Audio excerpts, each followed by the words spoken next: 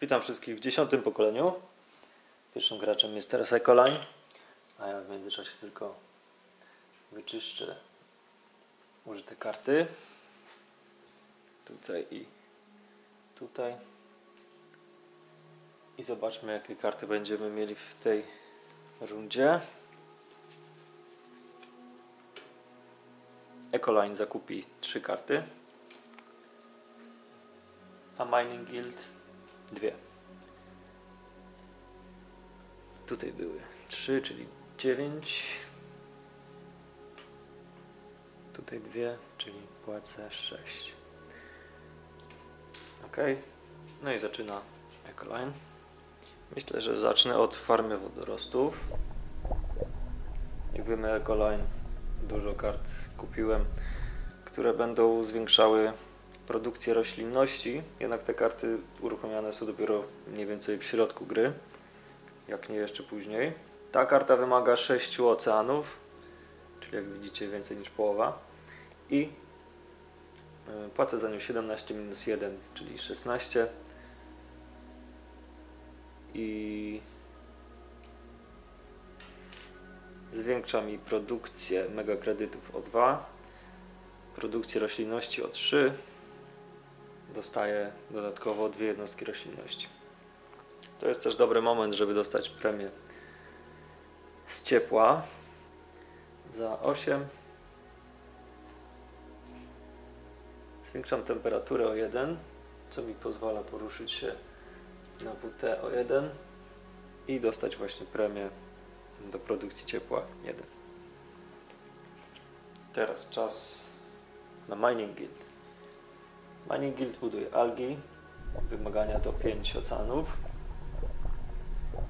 Wzrasta produkcja roślinności o 2, dostaję jedną i płacę 10. I to była jedna akcja.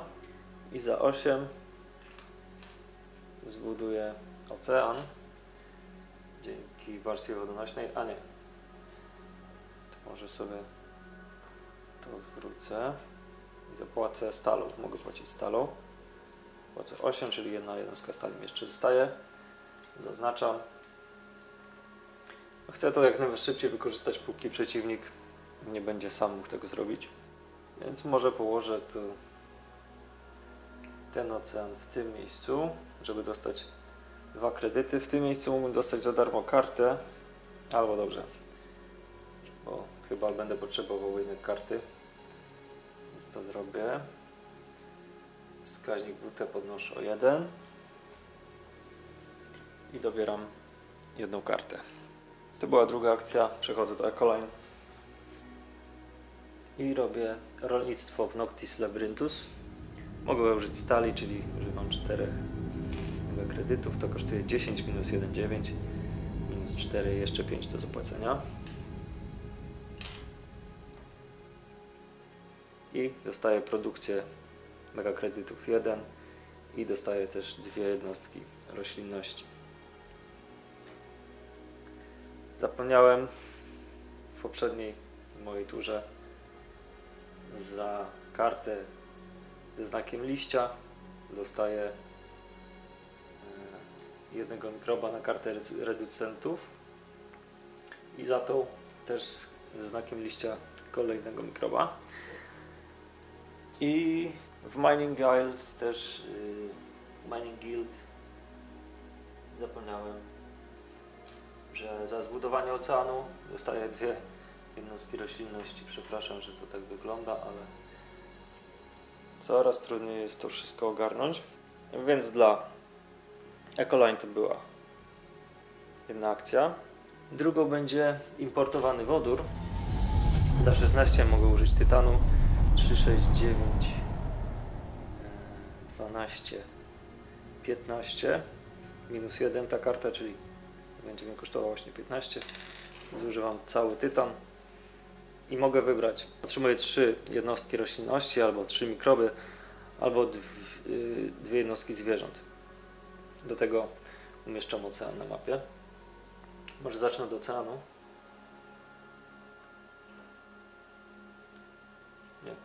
Miejscu.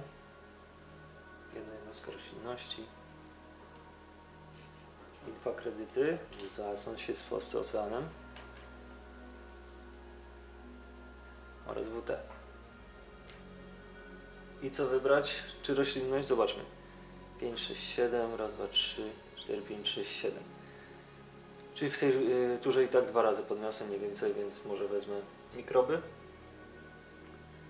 Zwierząt nie mogę, więc wezmę trzy jednostki mikrobów. Mikroby mogę umieścić na tej karcie. Czyli tutaj trzy jednostki umieszczam mikrobów. One już mi dają, ta karta, dwa punkty zwycięstwa na koniec gry. Natomiast Mining Guild dostaje dwie jednostki roślinności za umieszczenie oceanu przez Ecoline. I teraz ich tura. Teraz Mining Guild powinno się postarać jak najszybciej podnieść temperaturę i tlen, żeby nie mógł tego zrobić przeciwnik y, tlenu za pomocą swoich lasów. A więc dobrze, najpierw za 8 Mining Guild kupi sobie terraforma- terraformatora. Muszę mieć WT na poziomie minimum 35, żeby kupić ten tytuł, więc kupiłem. Drugą akcją będzie zakup elektrowni za 11. Przez co zwiększam produkcję energii do czwórki, dzięki czemu będę mógł używać karty obróbka rudy. Mam nadzieję, że przeciwnik mi jej nie zabierze. Znowu idziemy do Ecoline. Ecoline trochę zaryzykuje, wyda 8 mega kredytów, aby zarezerwować sobie nagrodę potentata ziemskiego, ponieważ całkiem prawdopodobne jest to, że dzięki produkcji zieleni będzie stawiał do końca gry wiele lasów, co da mu przewagę na mapie, co niekoniecznie musi się e, zdarzyć w Mine Guild. Więc pierwszy, pierwsze ufundowanie nagrody kosztuje 8. Zobaczymy jak to się na końcu, e, na końcu wyniknie. Mining Guild też będzie się starało w tym momencie zbudować jak najwięcej swoich kafelków na planszy. Więc następną rzeczą niech będzie za 7 posadzenie jednego lasu. Oczywiście w najbardziej dogodnym miejscu.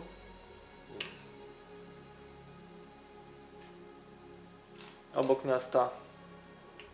Pod spodem są dwie jednostki roślinności. I położony został obok dwóch oceanów, za co dostaje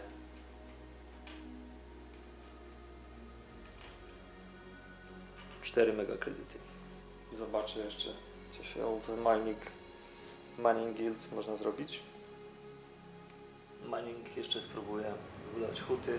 Jest to podobna karta jak obróbka rudy, z tym, że zamiast tytanu dostaję jednostkę stali. Mogę płacić też stalą, więc miałem 11, więc zachowam sobie te dwa mega kredyty, może jeszcze się przydadzą. Drugą akcją będzie podniesienie temperatury. Do minus 18 wskaźnik WT przemieszczam na 36. Ecoline. Ecoline wybuduje kopalnię za 4.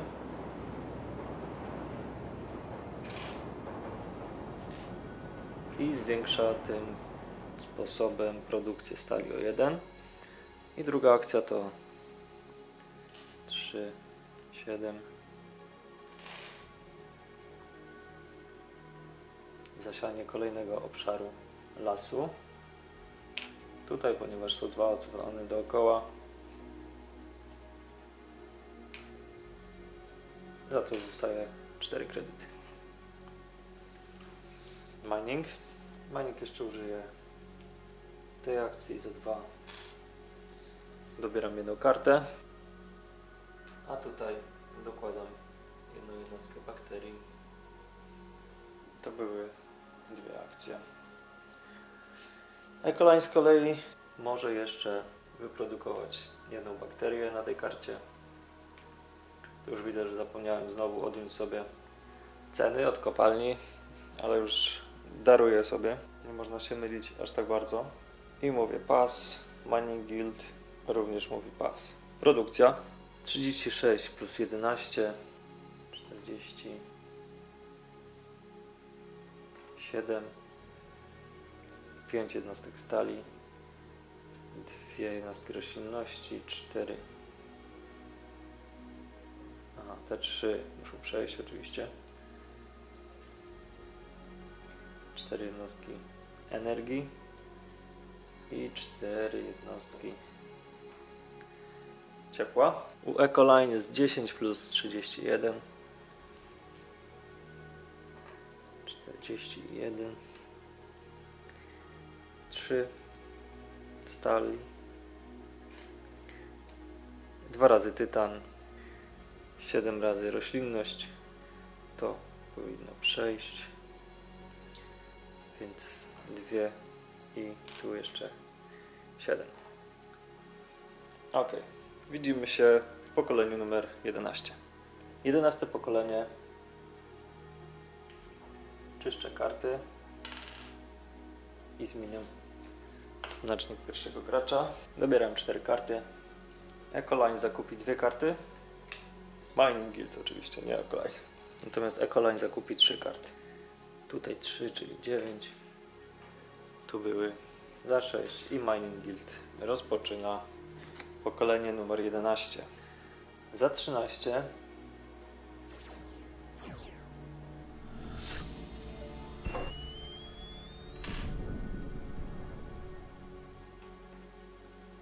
Mining Guild zakupiła wiązkę z księżyca, zmniejsza produkcję kredytów o 2, zwiększa produkcję ciepła i energii o 2. Oba o 2. Co pozwoli nam zyskać trochę punktów za szybsze podnoszenie temperatury. To była jedna akcja. A żeby przyspieszyć to jeszcze bardziej, to używa zaawansowanych gazów cieplarnianych za 9. Może użyć tanu 6, 9, by podnieść produkcję ciepła jeszcze o 2 stopnie. Co zrobi Ecoline w odpowiedzi? Na razie zagra kartę badania za 11 minus 1, co daje 10 i mogę dobrać dwie karty. Za kolejne 11 energia wiatru słonecznego, czyli za 10. Co podnosi produkcję energii o 1 i daje mi dwie jednostki tytanu. Czas na Mining Guild. Zdecyduję się na podziemne miasto. Za 18. Może by, mogę użyć stali. 10. Jeszcze 8.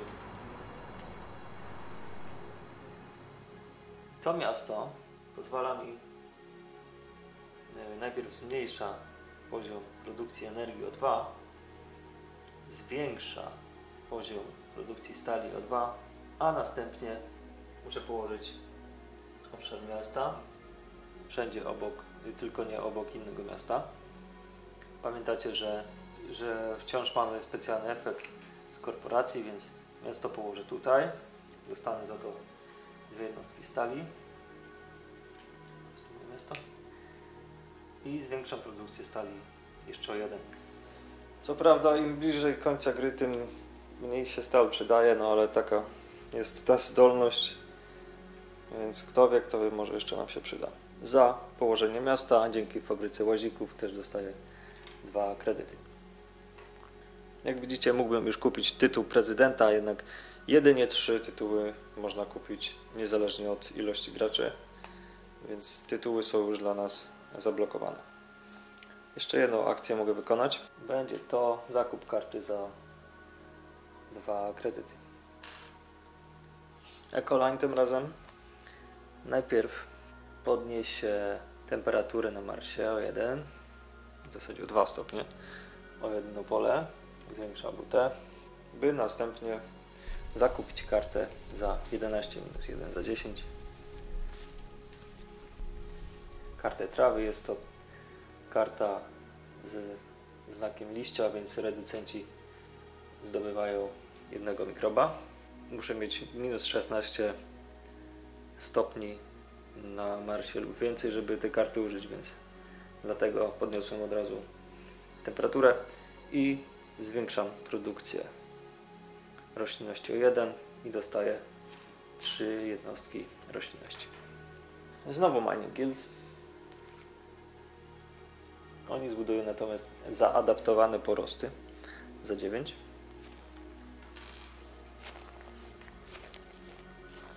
które zwiększy produkcję roślinności o 1.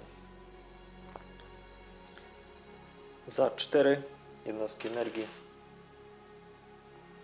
używają karty obróbka rudy, żeby zdobyć jedną jednostkę tytanu oraz podnieść poziom tlenu o 1 i poruszyć się na WT. Ecoline z kolei używa karty asteroida za 14 megakredytów, czyli 13 dla mnie. Mogę użyć tytanu do budowy. 3, 6, 9, 12 i dopłacam 1 megakredyt. Podnoszę temperaturę 2 stopnie, co zwiększa moje WT. Otrzymuję dwie jednostki tytanu i usuwam do trzech jednostek roślinności z karty innego gracza. Proszę bardzo. A druga akcja to wybudowanie roślinności.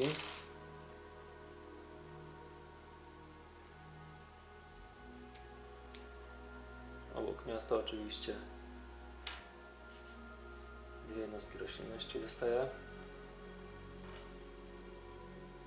Znacznie podnoszę tu i tu. Mamy 12% tlenu w powietrzu, zaraz skończy się również ocean, więc pozostaje tylko temperatura w połowie skali i powoli kończymy. Przejdźmy teraz do Mining Guild. Oni budują ocean za 4, 8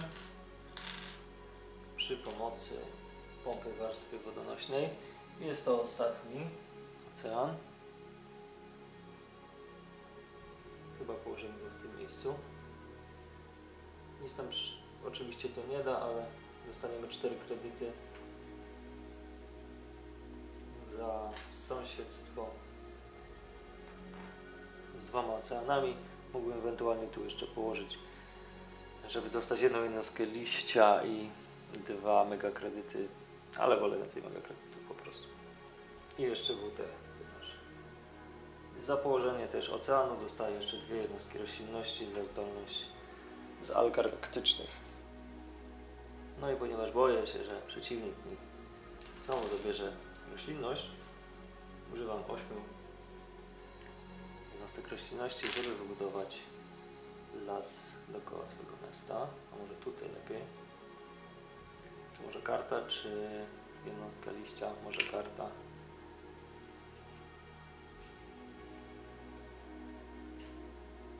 Tak, podnoszę tlen, podnoszę wodę. Nie ten znacznik.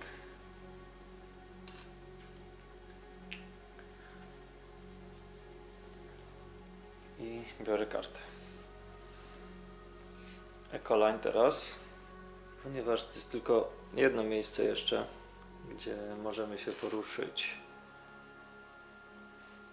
na skali tlenu, więc od razu kupuję las.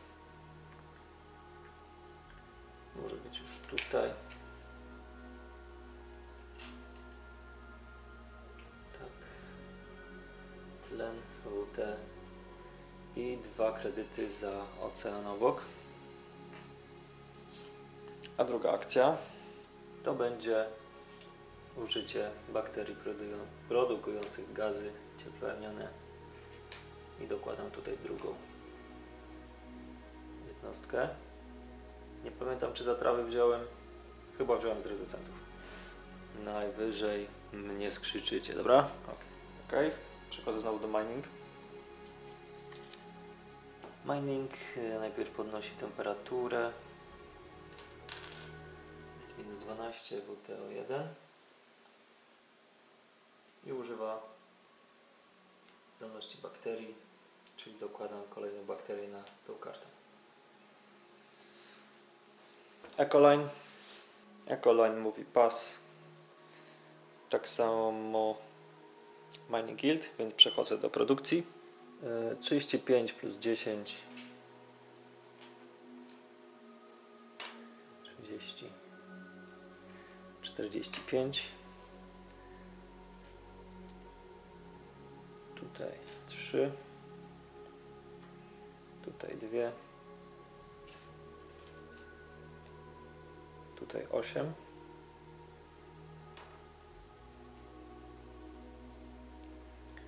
To przechodzi. Tutaj 3. A tu 7. 9 plus 40. To i tak. 40, 50.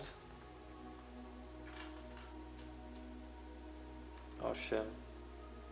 3.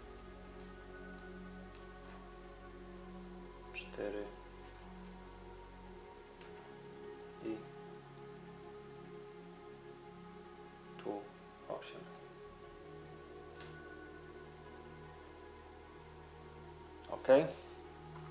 Widzimy się w pokoleniu 12.